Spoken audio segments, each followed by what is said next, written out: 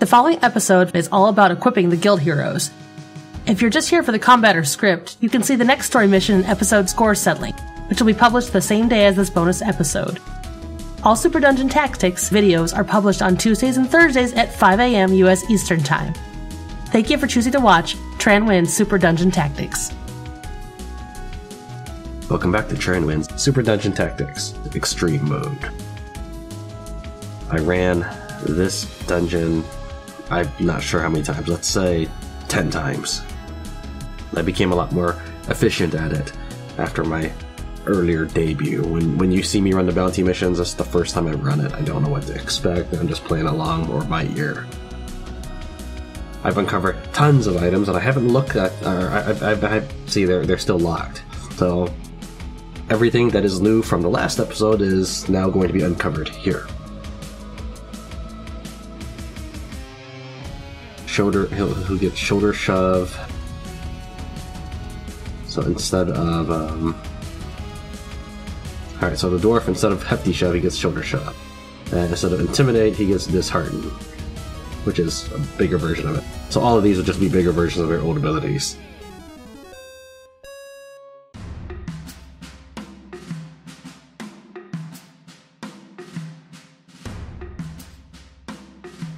She'll get sh shot of courage and triple stout shot. Immune to fire, blazing hands, and fire bash, which is just like fireball. Skullcracker would do 7 damage, but it won't be as effective because the reason why but I never used that is because her blade was always better, and I did find some level 3 weapons. And level 3 seems like a huge jump, and it would have made my farming a lot faster to to equip them, but I wanted to, to share this uh, unveiling with you rather than like, oh look, he's got more gear. I didn't know how he got it. I get so she'll go from enrage to super rage, which will give her a block, strengthen four, but poison two. Uh, so she'll take two damage. I want to check something though. These things don't always list the hit point change. So let me check something out. So she's at 16 now. And yeah, so what what she was using before, she gets a six hit point bonus. So I could use Super Rage three times and then end up with the exact same hit point. Although I do get one less armor, so that that is a thing.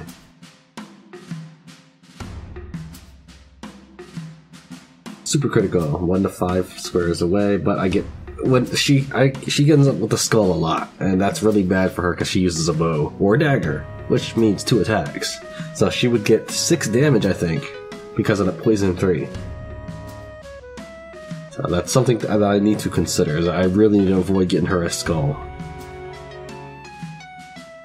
But I, I prefer to give her a skull instead of say giving Bobo because he weakens all my allies' damage, and so does the healer. So I, I, prefer to take damage so that I can dish out more. Alright, this looks decent. It's uh, better than Sweet Voice by four. And, or by, by times four, I mean. And this one will allow me to heal herself, but it doesn't have the wave heal, so that's something to keep in mind. That's so I haven't been using it.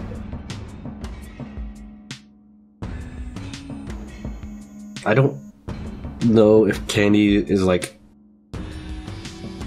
a character belonging to the board game or what. I'm, I'm, not exactly sure what this is. I think this is based off of a board game. I don't exactly know what Candy's role is because she seems very set in her ways, and she comes with her own name and her own lore entry. So I, I feel like she's like a cameo character who I have no idea who she is, or like a pet friend or pet character of one of the game developers. I'm not sure. So she'll get Spin Slice Shove, which is going to deal 6 damage to everybody in one wave. So it's like Spiny Tap or Spinal Tap or whatever. I don't actually use her. in fact, I don't think I've used her ever since her entry mission. Alright, so Endure. Heal 6 health and block 1. That's actually really significant. And lay hand. After receiving hit, heal 3 health to all allies and heal 1 health. So that that's actually a, that's also another substantial change because before he would just heal everybody around him, but he'd still be taking the damage. Now he can heal himself a little bit. So that's actually that that's actually something I may really think about doing. Um, this improves his range and damage for Go Fish. I'd like to try out the Heavy Bola sometime. I really would.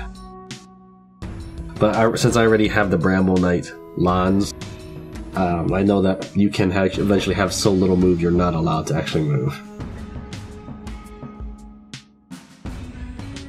So this, this, okay, this has a slow of one, whereas his current one is a slow of three, so he will not be able to move every time he uses it. Now I know that one of these is a slightly better one. The reason I don't use that is because I want the extra armor point. That's that's all. I, so I'd rather lose a speed and the temporary block that I get just for that turn in order to have permanent armor armor. But this one, this is this is worth it by this point.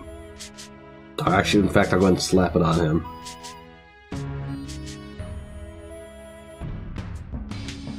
Last one. The Hexcast Mage, I don't really know what her role is going to be because I don't find slowing the enemy all that useful right now, but maybe it will be pretty good. Uh, slow forward for two rounds only, and all enemies in a cone of four, pushing them four squares away. So it'll push them back, and then I, well, I can shoot them with arrows while they push their way towards me or something. I don't know. Might be worth trying. I certainly haven't gotten any use out of Deathly Touch yet.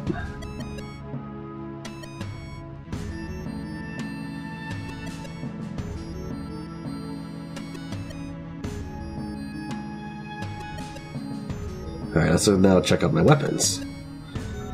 Alright.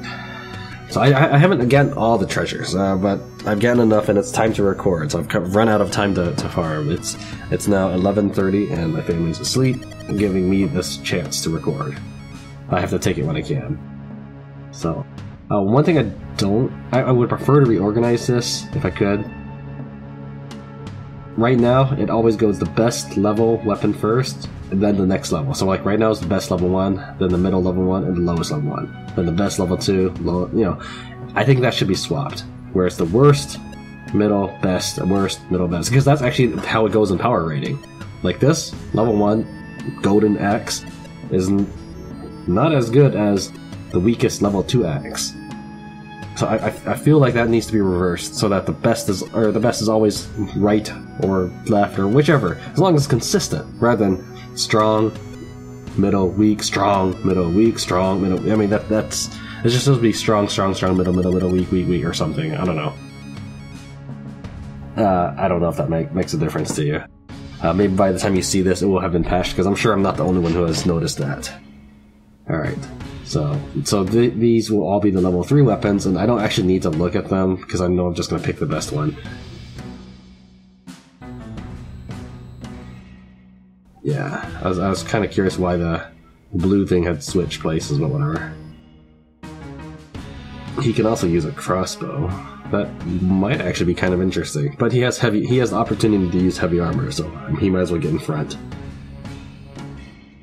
Okay, next character.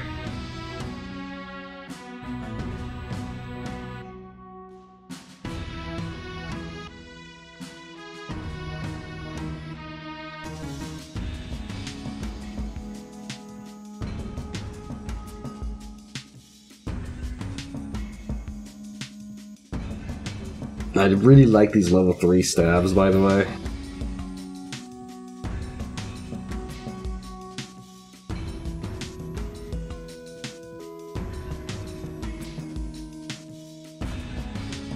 So we'll give you... Wait. Inflict fire. There we go. And you will have... I don't want tile fire. It always seems to hurt me more than the enemy, because I have to actually walk through where I defeated the enemy. Who are all my greatsword users? It's just you and Candy, and maybe the Bramble Knight. So you'll take a look, and it's her demolish at the bottom is the one hit target, and that does eight damage, whereas the other special face the face punch improvement was like seven damage, but the face punch does let you move away too. So that that is a thing. If you needed to get her to safety or something, or passing through, it would be actually be kind of a good tactic. Because I, I, was thinking about trying to do something like that in the graveyard, just use armor cut and then race closer to the ward or not ward to the um, the spawning tower.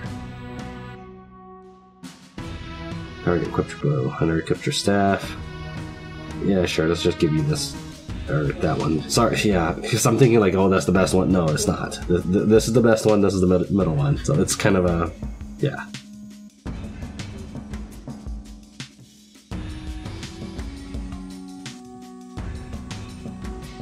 Hmm, Unfortunately, it doesn't look like it changes the graphics for the weapon.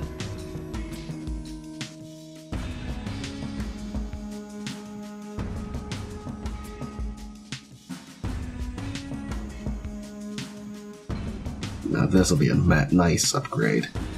That's just doubling his damage right there. Because before he was doing two. Now it's four.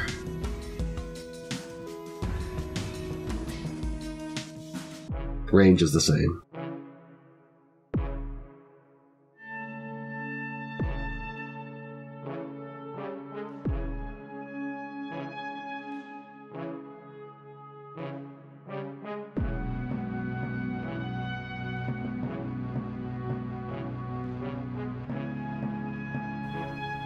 For armor. Alright, so let's uh let me think here. I wish I could sort the characters or something by by style. I guess I can kind of see them here. So these are the four characters that use light armor. Okay, so let's see here. Uh, you will probably need the best light armor because you get in the front. Pulsing, what that does, although there's there's no lore entry for it, pulsing that gives that makes her knock away opponents at the beginning or end of the turn, like a the opposite of attraction.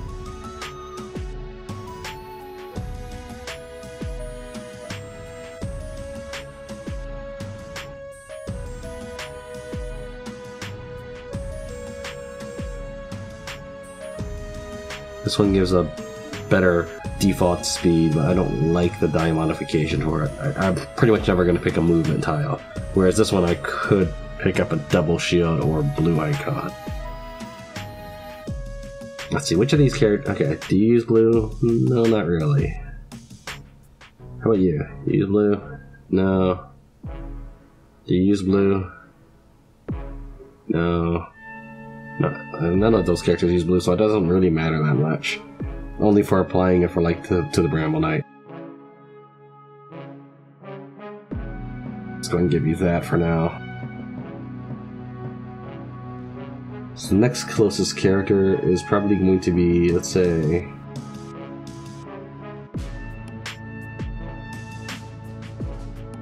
Braza and Sorella.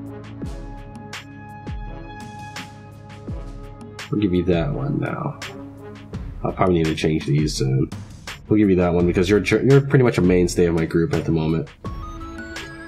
Blow far back is actually pretty cool too. It it just like knocks out enemies. Let's see here. What else? Um, oh yes, I was gonna go to Braza.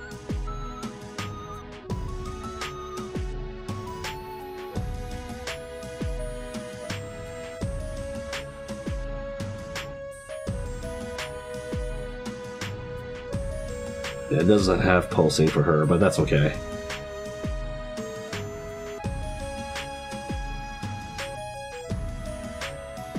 Maybe want pulse. No. Pulsing is a little late. The enemy has already moved, and so I'll just push him back like two squares, and I'll just walk back up to you. So th- it's okay. In fact, I find it more hurtful to use pulsing, so I, I, I think I'm happy with this choice. It's just, I was just thinking like, ah, I should get it because there's nothing on this. No, no. Pulsing has hurt me because then I'm not able to smash people up with this staff. Like they'll be scattered. They're essentially, it essentially scatters them, which is the opposite of what I want. Because it deliberately equip characters with the meat suits and stuff like that, so they can be lured together. All right. Last one is Rigma. Give her an outfit. So her choice is any. Oh, you know what? These that, these are the worst three. These are the best three. Uh, I was going by these base stats up here.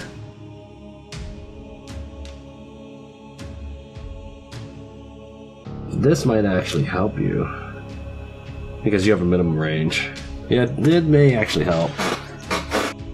Let me double check something here. Does it? Yeah, it's exactly as. Yeah, because these gemstones, it doesn't actually show you that kind of stat stat change. Alright. So, Sorella's the only one without pulsing. She'll just have to deal. Alright, next up is medium armor characters. So, well, who's who's the... These are all medium armor. I don't really use Candy, so I'll go with her last, but Kerum, although I haven't used her lately, she would probably need the best medium armor.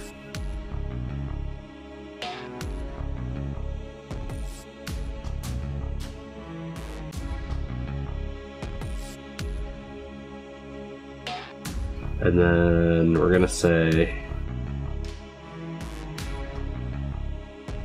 Glimmin.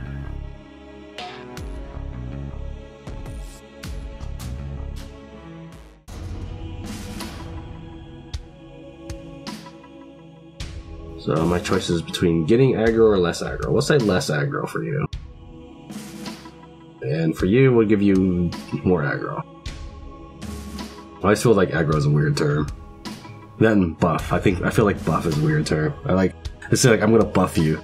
I always picture people like getting out like a a, a buffing pad and just like shining you up or something. So I find aggro and buff to be odd terms. It's probably because I've never done stuff like World of Warcraft and it hasn't become um, part of my vocabulary. Alright, now for the heavy armor. You will take the best heavy armor. So this is, this is how I'm kind of sorting it out. I can see these faces and, I'll, and that'll look like who needs it the most. That's kind of how I'm organizing them. And that, it has worked out so far, because that's a lot of armor and a lot of people to, or, to equip. So this is supposed to be the best one. Magnetize, mag that uh, lure enemies in, I think. Uh, every time they hit you or do something, uh, your character will lure them in. And aggro 3.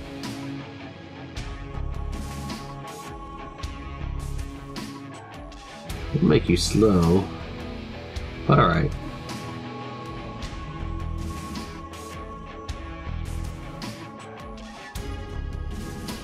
Maybe this one better. No, I like the high aggro.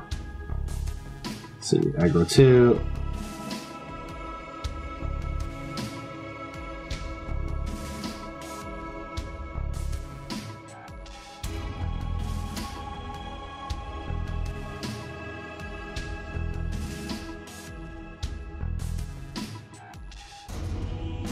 This is really good for his hammer, so I'll leave that.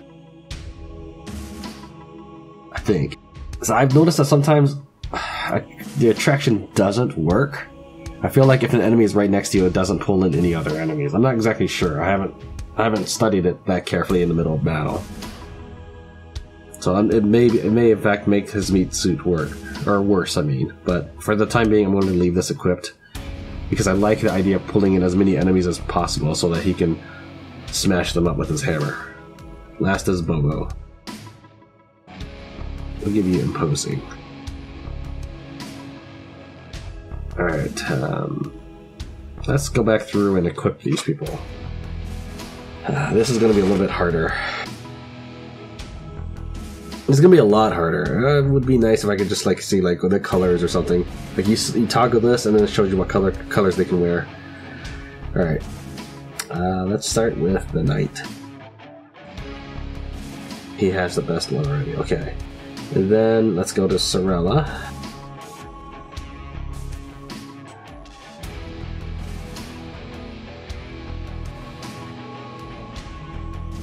Twenty-two. Twenty-two. Oh, it doesn't even have wave heal. I must have been looking at something else. So this gives wave heal. Um, and you can also have a wave heal now.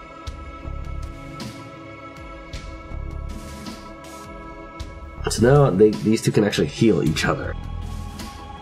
Um, she has substantially more hit points than she did before. Not sure if I should give her this one just so that she can have immunity to fire. Like, I don't know how good that is. The game must give it to me for a reason, that's immunity to fire effects. So I'm assuming if there's like a fire dragon breathing fire on me, it would not actually change anything. Um, Braza is still extremely fragile though. Whereas if I equip one of these, she'll have plus 7 hit points.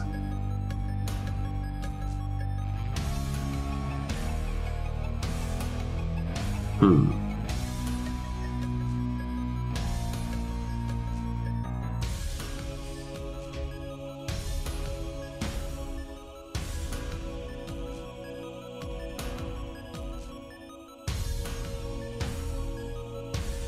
Let's go with this for now, and maybe I'll give her some hit points in the item later.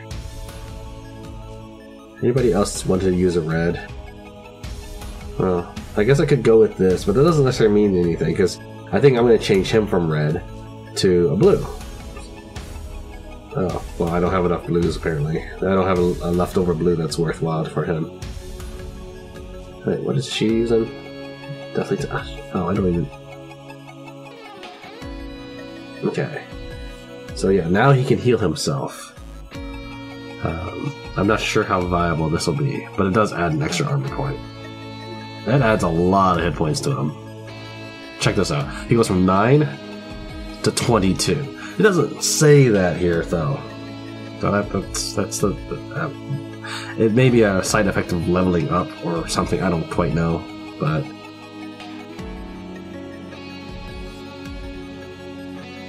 It also does not have a skull on it, which is cool. Alright, what else? So you switch from a red to a blue, so it doesn't, even looking at their faces doesn't mean anything. So I'm just going by order of priority of my best characters, or the characters I like to play the most.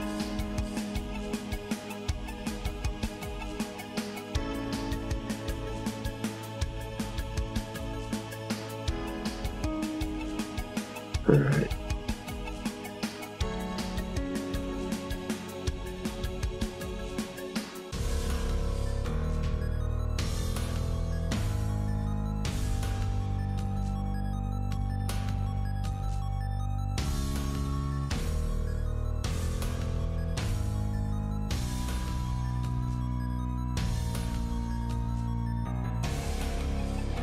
So it's a flat, flat bonus, and then it adds two on top of it. I bet. I think that's what it means.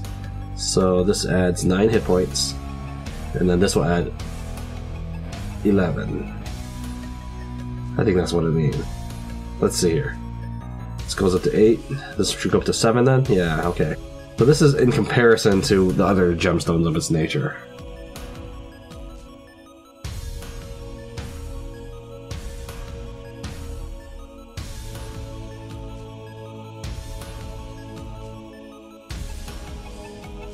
Uh, maybe I'll give. Because she has to get closer. There we go. I'm a little worried about Brasa being so uh, fragile, though. That might that might be a big problem for her.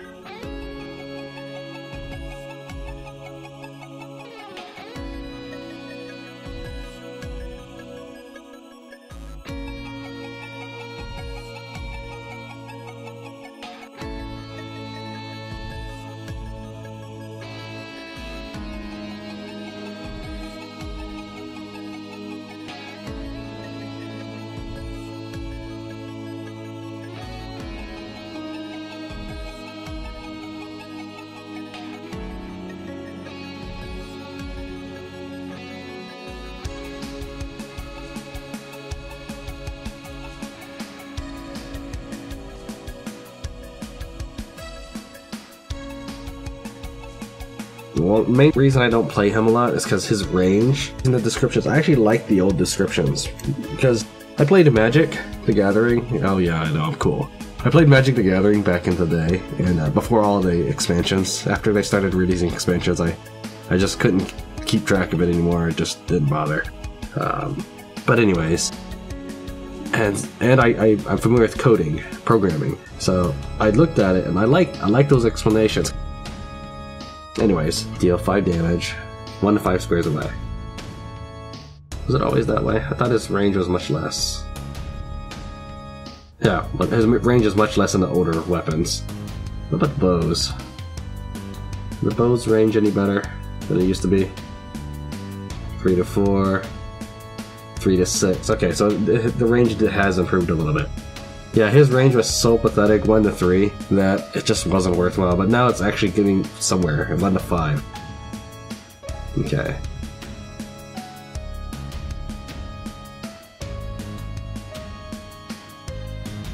Have I cooked for Karam? Yeah, I did. The man is waiting. We'll give you a speed one. Wait, did you already have one equipped? You had this one equipped. Bobo, what do you need?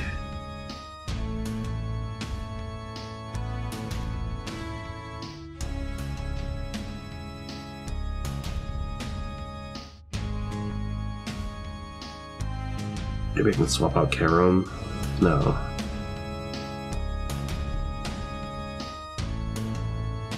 I can give her something else. But I like having burst strength, and she's a general regular part of my army, so Bobo is just gonna have to deal. I would rather him have a yellow ability, but I want him to have all these extra hit points. Besides, I'll get a little bit of movement from this. He's a lot faster than he used to be now.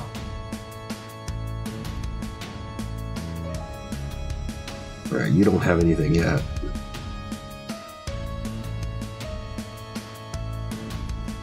Alright, let's put something on you so you have hit points.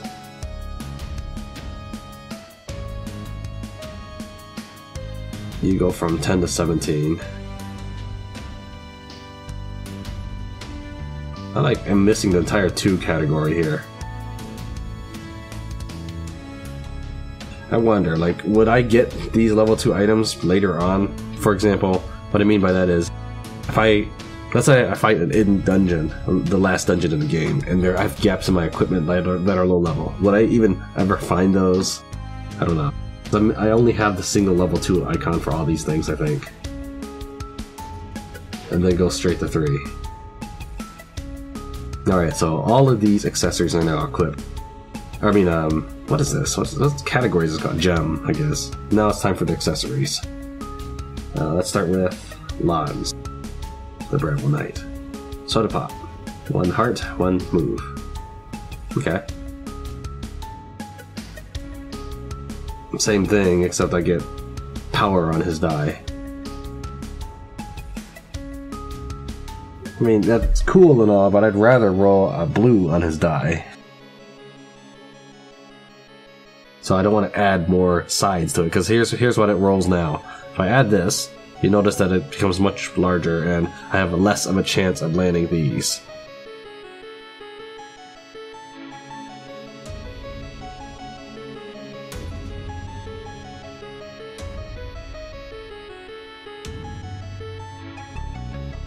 Wow. This is a nice item except for the two skulls, but I think that's why. And it's a, it's a good touch because it's a possessed cloak. You know, it kind of gives you an ominous feeling and you get these skulls that come up. So this is supposed to be for the Riftling. She'd lose her only armor point, but she'd get to move further. I don't really know what she'd do with 9 speed though, except get surrounded and killed. Now that looks good. An extra 2 armor. I don't like the skull though. Wonder if any of the gemstones will ever allow me to use the skull as a positive.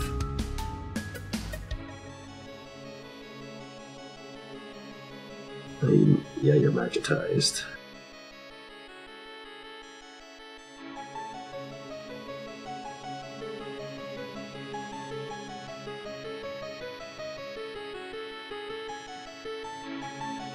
That's not bad. I only lose two hit points, so basically, if you get hit on two different turns, it already makes up for itself. It's aside from the fact that you don't add any benefits. What I mean is, like getting, say, uh, like if I do this, I get a benefit. So uh, basically, the opportunity cost is that I'm losing out on an accessory that will do more than change those kind of stats. Uh, I don't know if that made any sense. Don't know what I want to give you. Maybe I should gift you this support crowns. I might be overdoing it, but now you can move by with two units. In fact, you can move two units.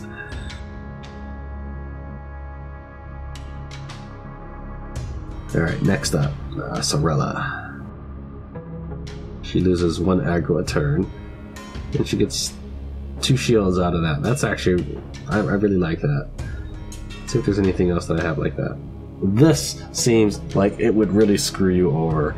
Uh, the best use I can possibly think for something like this is um, to have a faster character drag your slower characters around, but it seems like it would really mess up your positioning.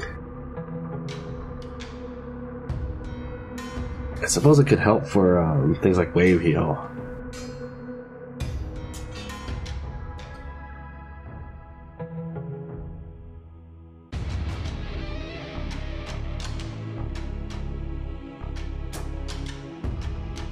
Yeah, minus one. I, mean, I just skim these I find it better. I don't think I'm gonna find anything like that. Alright, I'll go back to this. Uh, Braza. I'm gonna add skulls to my die. So the choice is do I want a shield or do I want aggro minus? Well, she no longer has aggro minus on her armor, so I guess I will give her the friendly butterfly. Okay, who's next? Rig Rigma, yeah. Too bad I don't think that affects stack. Like if I put this on combined with pulsing, I think that's two different events. So they'd be pushed away by one and ignored by the second ability. It'd be nice if they stacked and I could just send people flying. And if making them fly would do damage or kill them outright. You have 14 hit points. That's not a very large amount. Is not seriously not adding hit points. I guess not. Two hit points here.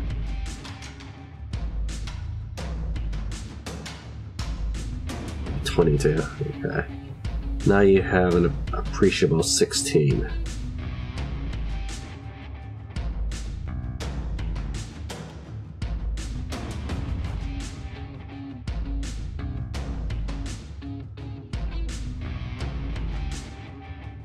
Maybe I want the superpower crown.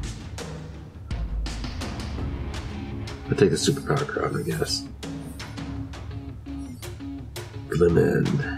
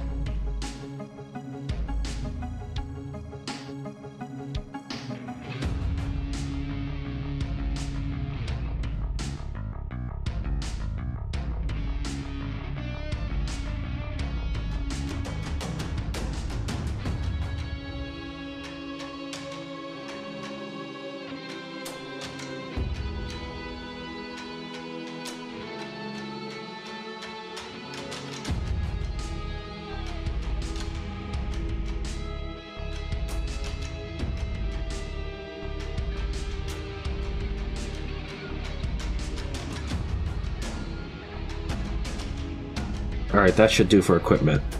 Um, I went ahead and polished up people's accessories and tried to look what uh, try to look what would work with their current equipment layout. I figured that'd be the least interesting part of uh, the equipment. Plus, it, there was a lot more deliberation going on there, so hopefully I've edited that out. Alright. Item bar. There's some new things I have now. Bigger potions, which I actually... I'll go and take that. Blue buttons and red buttons. What if it just changes the die he has equipped. So like if I put on a skull or something. Uh, some different kinds of foods. Like the healthy sandwich, the ham shank, the meaty sandwich, the sandwich, the super sandwich, and some tomatoes. Really like these models of hate though, they help a lot.